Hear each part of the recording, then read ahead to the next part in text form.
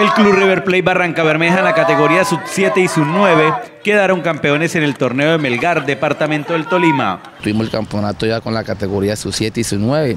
Con la categoría sub-7 quedamos campeón y con la sub-9 eh, pues fue, fue, digamos, difícil porque plata no había para, para viáticos, ¿sí? pero gracias a Dios con la ayuda de los padres de River y con un amigo que tenemos, pues digamos, nos, digamos, nos colaboró para que todo esto estuviera, digamos, realidad. Fue la primera experiencia para estos chiquillos que llegaban con ganas de ser protagonistas. Este club es nuevo, nosotros tenemos este año con este club River Barranca Bermeja y la mayoría de los niños son nuevos, entonces fue algo, fue algo hermoso, fue algo por primera vez, niños de tres años, cuatro años, que viajaban solos, entonces fue algo difícil y a la vez, digamos, fue algo bonito porque todo, todo fue positivo. River Plate Barranca Bermeja se trajo la valla menos vencida y el goleador del torneo. Trajo la valla y el, y el, y el goleador de, para estas categorías inferiores.